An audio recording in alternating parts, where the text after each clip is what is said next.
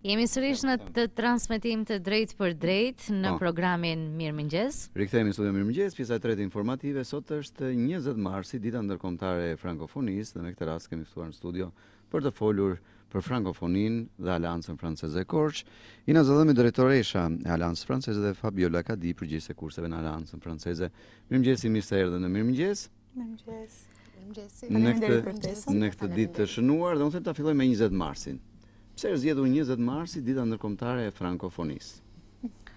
Nuk është një rastësi, njëzet marsi është dita ndërkombëtare e frankofonisë, sepse përkon me krijimin e organizatës ndërkombëtare të frankofonisë, që funksionon në të gjithë botën, është një rrjet shumë i madh dhe përllogariten 220 milion frankofonë në të gjithë botën.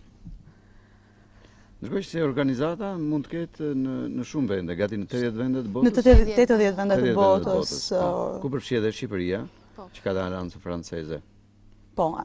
Me një sërë aktivitetesh që zhvillohen jo vetëm në ditën e sotme, sepse do të kemi sot aktivitete, por gjatë gjithë vitit edhe gjatë gjithë uh, muajit mars që njihet edhe si muaj i pranverës uh, frankofone, apo jo. Ja.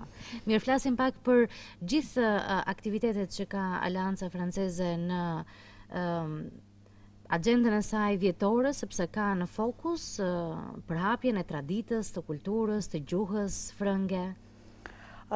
Kur i referohemi Aleancës Franceze, ne themi, jemi krenarë si korçarë që kemi një traditë shumë të fuqishme frankofone, kjo lidhet dhe me liceun francez, por jo vetëm, Ka ekzistuar një formë e aleancës franceze që në vitin një mijë e nëntëqind e njëzet e gjashtë në Korçë, gjithsesi sot aleanca franceze në Korçë funksionon si një strukturë e vetme, por bën pjesë në rrjetin e pesë aleancave në të gjithë Shqipërinë. Janë pesë aleanca që operojnë në të gjithë Shqipërinë, ajo e Tiranës, Shkodrës, Durrësit dhe Elbasanit. Aleanca franceze ne përpiqemi që ta shohim punën tonë dhe si një, jo vetëm një mision për përhapjen e gjuhës, traditës mhm. dhe kulturës frënge, por në të njëjtën kohë dhe si një, si një pasion, është diçka vërtet shumë e bukur, të, të, të mbështetesh në, në, një traditë të fuqishme. Kulturë. Dhe një kulturë. Flasim për një, për një komb i cili le të themi ka qenë elitar për sa i përket Evropës në lidhje me demokracinë, duke kujtuar historinë e tij, gjithë zhvillimet, literatura, po, në të gjithë letërsia, në të gjitha drejtimet është vërtet është vërtet një pasuri, një pasuri dhe ne shpesh ndodhemi nëpër debate dhe themi anglisht apo frëngjisht. Ndoshta kjo kjo mund të ngelet jo, kjo mund të ngelet edhe si pjesë e publicitetit tonë. Unë dal dhe dhe gjithmonë preferoj të mëshoj në këtë fakt. Anglishtja sot ndoshta është një nevojë, ndërsa frëngjishtja është një vlerë e shtuar. është klasike, është gjuhë mondane, ka qenë dikur e para, pavarësisht se sot mund të ketë zbritur e dyta në rang botëror. Kjo për nevoja flasim, jo për... E qartë, tash, në qoftë se është nevojë anglishtja, frëngjishtja sërish tash, ngelet një, një vlerë e shtuar për, për njerëzit. Rikthehem tek aktivitetet e Aleancës. Aleanca organizon ka dy shtylla kryesore të gjithë aktivitetit dhe misionit të saj. Është pjesa e përhapjes së gjuhës dhe ne këtë e e bëjmë nëpërmjet organizimit të kurseve dhe për këtë do flasë më mhm. më në detaj Fabiola dhe më pas janë gjithë aktivitetet që organizohen gjatë gjithë vitit Dhe kulmojnë me muajin e frankofonisë, që është marsi, ashtu si Çeftiola e mhm. cilësoi që në fillim. Fabiola po, mund të po, flasë më në detaj. Po, si për gjuhën, sepse besoj përhapja po. e gjuhës është një nga shtyllat kryesore të Aleancës. Patjetër, patjetër. Gjatë gjithë vitit në Aleancë zhvillohen kurset e gjuhës frënge. Ne kemi pjesëmarrës të grupmoshave të ndryshme dhe të niveleve të ndryshme, sipas kuadrit të përbashkët të referencave të gjuhëve. Çfarë ndodh është patjetër është ajo përplasja mes gjuhëve të ndryshme, mes anglishtes, po Ina e tha pak edhe të gjithë jemi të ndërgjegjshëm që në fund fundit përmes mësimit të gjuhës frënge nuk është thjesht gjuha që përçohet, por është një kulturë e pasur dhe pavarësisht, po themi, gjendjes së krijuar për shkak të globalizmit, anglishtja e preferuar për shkak të, po themi, nevojave financiare, ekonomike, gjitha me radhë, Përsëri frëngjishtja preferohet edhe mund të themi që në Korçë sërish kemi kemi një një një situatë të tillë që frëngjishtja mbetet elitare. E duke qenë se ka një traditë Pikërisht, pikërisht dhe prindër që vendosin kemi festuar vitin e kaluar 100 vjetorin. Po, dhe 20 vjetorin e Aleancës Franceze në në tetor. Çfarë është pozitive është që për shkak që kemi interes prindër të ndryshëm që që kuptojnë vlerën e gjuhës frënge, të kulturës, përçimit të kulturës frënge nëpërmjet gjuhës, kemi edhe fëmijë të vegjël, nga mosha 3 në 7 vjeç kemi një grup me, me fëmijë të vegjël, po që është shumë pozitive. Pastaj kemi dhe grupet e adoleshentëve, patjetër që është pjesa më e madhe e kurseve që kemi në Aleancë dhe me të rritur patjetër grupmosha të ndryshme. Po patjetër, patjetër, patjetër. Çfarë është interesante është që patjetër frëngjishtja mësohet në Aleancë për arsye po themi pune, shkollimi e tjera me radhë, por jo vetëm kaq. është edhe patjetër kënaqësi edhe një zgjedhje që familjet e bëjnë. Edhe një kulturë gjuhësore, po, sepse të po, njohësh po. një gjuhë, siç e thatë dhe ju, Përmban në vetvete edhe kulturën e një kombi. Nuk është thjesht vetëm ana gjuhësore, të njohësh dhe të flasësh e të kuptosh në frëngjisht. Pikërisht. Metodat, metodat që përdorim janë metoda bashkëkohore, në fakt janë metoda që përdoren në gjithë rrjetin e aleancave në Shqipëri, të shtëpive botuese vërtet prestigjioze në Francë dhe gjithashtu mësueset janë të trajnuara, një pjesë e mirë për shkak që kemi mbështetjen e ambasadës franceze dhe është diçka madhore, vërtet mund të themi që kemi një, një mbështetje shumë të madhe nga Aleanca Franceze, një pjesë e mirë e mësuesve janë trajnuar, janë trajnuar, po themi, për të punuar me grupmoshat, me, me fëmijët e vegjël, me më të rritur patjetër, pra kemi këto mundësi që ofrohen gjatë gjithë vitit në Aleancën Franceze.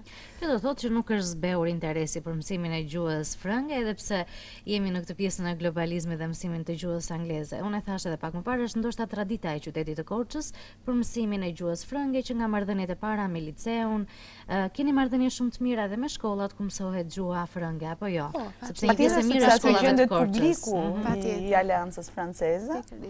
Marrëdhënie shumë të mira kemi me klasën dygjuhëshe, që në gjuhën e përditshme po. ne e quajmë liceun, mhm. është vazhdimësia e traditës së liceut, patjetër aty ka vërtet tregohet interes dhe kemi një trekëndësh shumë të fuqishëm, është Aleanca Franceze, është liceu që ne e quajmë në gjuhën e folur, por është klasa dygjuhëshe shqip-frëngjisht dhe ambasada e Francës. Dhe shpesh të gjitha aktivitetet tona koordinohen në këtë mhm. trekëndësh mhm. për të pasur një rezultat sa më të mirë. Edhe një pjesë e nxënësve pastaj vazhdojnë edhe studimet po. jashtë sigurisht. Po. Ne funksionojmë jo vetëm si Aleancë Franceze, por funksionojmë dhe si uh, antenë e Campus France. Mm -hmm. është një agjensi ku të gjithë studentët, uh, qoftë dhe të rritur që kanë në plan për të studiuar në Francë, mundet të vijnë të marrin informacion dhe një mbështetje në plotësimin e dokumentacionit, informacione shtesë, gjenden pranë aleancës. Mhm. Mirë, përmendim ndoshta disa nga aktivitetet më kulmore gjatë vitit, sepse ka aktivitete të shumta herë pas here, takime, promovime librash, themi, e të tjera, e të tjera, por ndoshta ato që kulmojnë gjatë vitit. Aktivitetet që zhvillohen janë të zhanreve të ndryshme, por unë do përmendja, thamë që kulmojnë me muajin e frankofonisë, mhm. përpishemi që t'i vendosim, t'i fokusojmë gjatë muajit mars, më përpara ne festoheshte vetëm dita e frankofonisë, data 20, më pas u shtri java e frankofonisë, ku përfshihej data 20, dhe tashmë duke parë interesin e madh të gjitha strukturave frankofone, frankofile, gjithë publikut, ambasada e Francës në Shqipëri, ka vendosur që ta shpallë muajin e frankofonisë, gjithë muajin mars. Bëhet një koordinim i tillë në të gjithë Shqipërinë, ka një axhendë për të gjithë Shqipërinë, të gjitha strukturat, jo vetëm aleancat, por gjitha shkollat që zhvillojnë gjuhën frënge, japin gjithë aktivitetet dhe krijohet një axhendë shumë e madhe. Ka një koordinim shumë të madh, sidomos në Tiranë, duke qenë se është dhe kryeqyteti dhe mundësitë janë më të mëdhaja, ka një koordinim shumë të madh midis ambasadave për t'u bërë pjesë e frankofonisë, dhe Ato aktivitete që unë do përmendja është shfaqja e filmave. Ne kemi organizuar në fillim e çelëm frankofoninë, pranverën frankofone si aleancë në Korçë me shfaqjen e një filmi francez. Do të vazhdojmë me një film të dytë në fund të muajit. Një aktivitet të rëndësishëm dhe Interesant do të ishte një tavolinë e rrumbullakët, një takim letrar që do të zhvillohet me profesor Ilia Lëngun dhe rreth figurës së Camus, sepse profesor Ilia ka marrë një, një çmim nga ambasada franceze për një përkthim të arritur të Camus. Atje do të jenë të ftuar jo vetëm frankofonë dhe frankofilë, po dhe ata të cilët do të kenë interes rreth figurës të Camus. Sot, meqenë se është dita e frankofonisë, në të gjithë botën frankofone organizohet Pena e Artë, është një konkurs në rang botëror, ku marrin pjesë, është konkurs gjuhësor, do të marrin pjesë të rinj, Në krijimet e tyre, besoj. Jo vetëm krijim, po ka pjesë edhe nga gramatika dhe nga sintaksa. Gjithëpërfshirë, gjithëpërfshirë në një gjuhë. Po. Dhe vitin e kaluar, ne një studente nga Universiteti i Dega e Frëngjishtes, arriti të merrte çmimin e 88 në botë. Që nuk është pak të mendosh. Sepse ka pjesëmarrës nga gjithë bota. Po.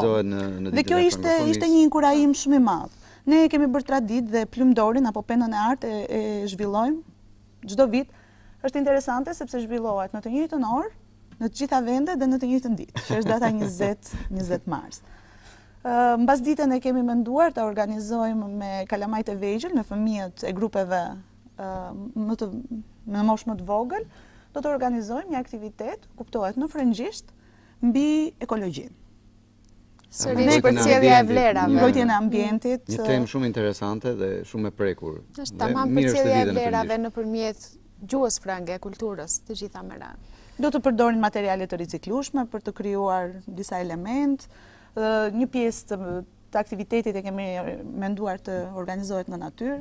Do të bëjnë një ndarje të mbeturinave, për të përcjellë një kulturë që është globaliste, por ne kemi zgjedhur gjuhën frënge që ta përcjellim. Nëpërmjet.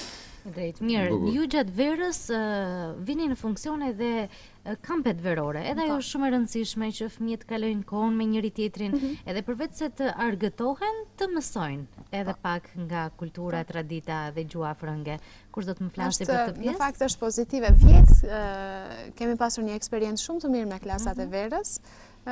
U mendua fillimisht me dy javë dhe pastaj kaloi në dy javë plus për shkak që kishte fëmijë dhe prindër të interesuar të sillnin fëmijët mhm. e tyre.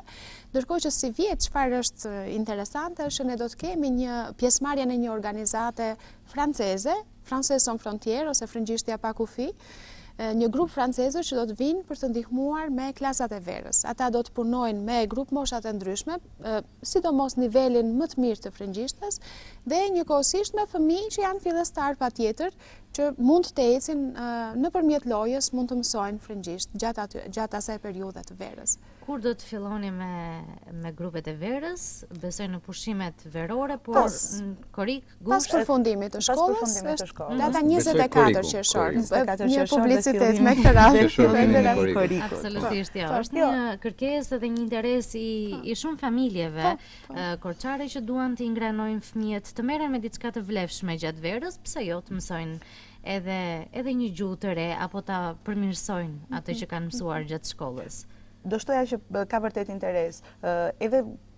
publiku që është interesuar, vjen një moment që dhe fëmijët dhe adoleshentët pasi ndjekin një, një metodë, me përfundimin e shkollës bie pak ai interesi, janë të lodhur dhe ka nevojë për diçka më argëtuese. Po. Dhe realisht ne patëm patëm sukses vitin e kaluar me klasat e verës ashtu si dhe mhm. Fabiola e e cilësoi. Po sepse zhvillohet gjithçka në formën e lojrave. Në formën e lojrave. Nga më të ndryshmet, krijime që mund të vënë, pra, në funksion imagjinatën. Po në frëngjisht, ty është në frëngjisht, kjo është. Nëpërmjet gjuhës amë pra. Në kështë në atë që listuat mua nuk më ra në vesh ndonjë veprimtari për muzikën franceze. Meqenëse...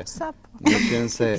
Meqenëse unë jam i dashuruar dhe me kinematografinë, por dhe me muzikën franceze. E keni shumë të drejtë. Në datën 13 mars ne organizuam tashmë për traditë, organizuam konkursin. e këngës franceze. A, shikon, iku kjo. Nuk e përmendëm. Organizuam uh, konkursin e këngës franceze, aty marrin pjesë, është i hapur konkursi për uh, të, të gjithë të rinjtë mbi 15 mhm. vjeç. Mm -hmm. Uh, Pasi bëmë një përzgjedhje të dy vendeve të para, me një juri profesioniste, pamë nivelin e frëngjishtes, ka disa kushte për të marrë pjesë, duhet të kesh një nivel gjuhe në frëngjisht që të marrësh pjesë në këtë konkurs. Dy fitueset do të marrin pjesë në konkursin kombëtar që do zhvillohet në 30 mars në Tiranë. Dhe më pas fituesi përfiton një javë udhëtim në Francë. Ah. Dhe ishte po ky çmim që nga në në Paris. Jo, në të kundërt është në Côte d'Azur. Është ah, në jug. Në bregu, në bregu, në bregu i kaltër. Gjithsesi janë një javë pushime po. që do t'i meritojë fituesi. Një nga nxënëset tona të Aleancës Franceze ka patur shansin një vitin e kaluar por një vit më përpara ta të marrë çmimin e parë. Të shijojë.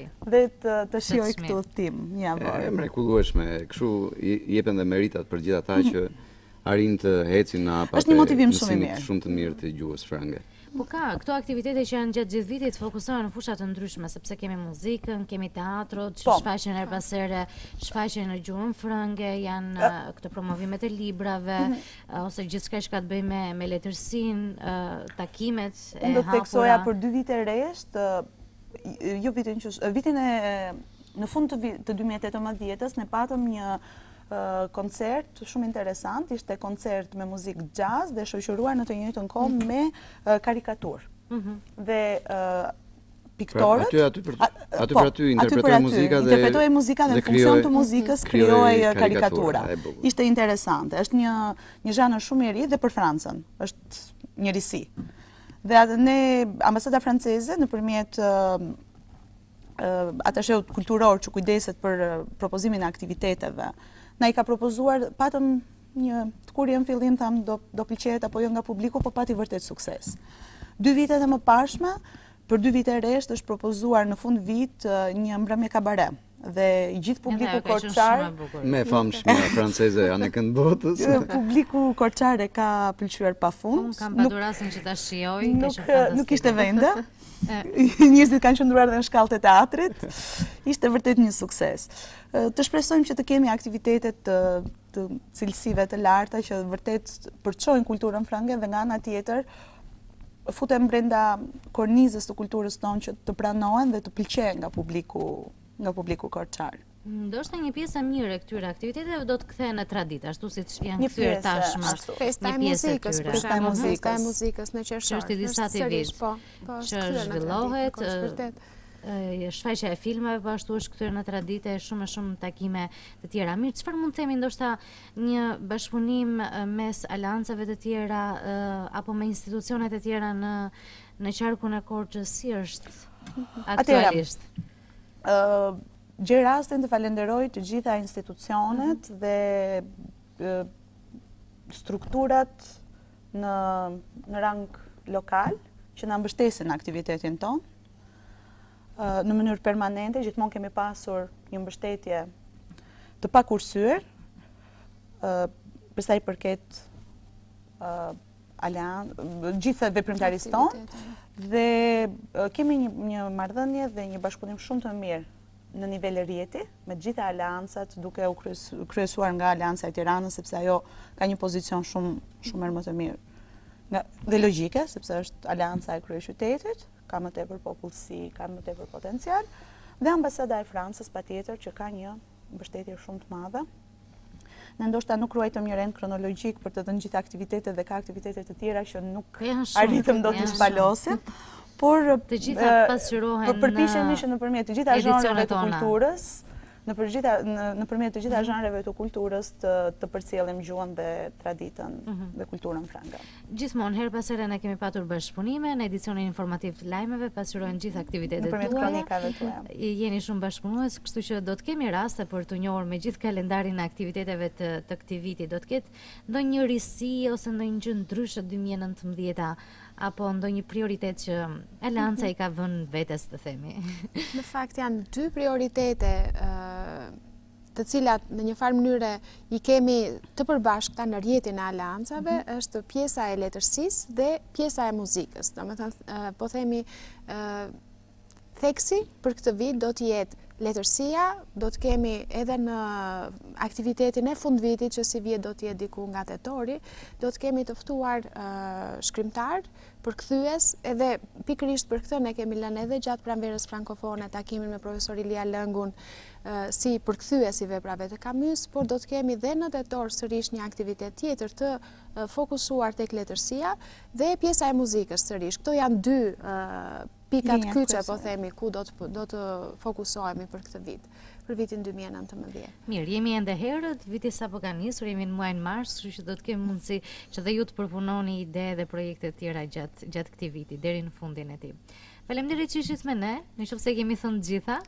Faleminderit, faleminderit, suksese. Gëzuar edhe këtë ditë të frankofonisë. Në misionin tuaj. Shumë suksese në misionin tuaj dhe në gjitha veprimtaritë që përfshin misioni juaj. Faleminderit. Faleminderit në emër të gjithë atyre që janë në shoqërinë e Mirëmëngjesit. Ishin me ne në studio. Ina Zallëmi, drejtoresha e Aleancës Franceze dhe Fabiola Kadi, përgjegjëse kurseve po në Aleancën Franceze.